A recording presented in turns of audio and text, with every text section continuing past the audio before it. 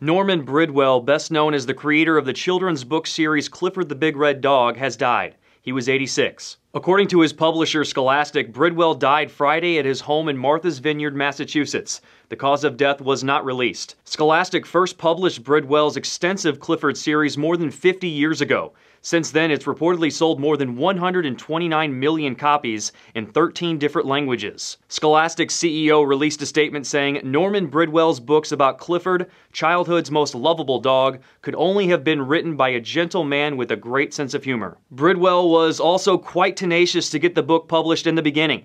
Clifford was rejected by nine publishers before Scholastic finally gave it the green light. The gigantic friendly canine even wound up as a PBS cartoon using the same name. Clifford also made his debut on the big screen in 2004, and there's another movie in the works that's due out in 2016. Bridwell completed two more Clifford books before he passed. Clifford Goes to Kindergarten and Clifford Celebrates Hanukkah. Both of those titles are due out next year.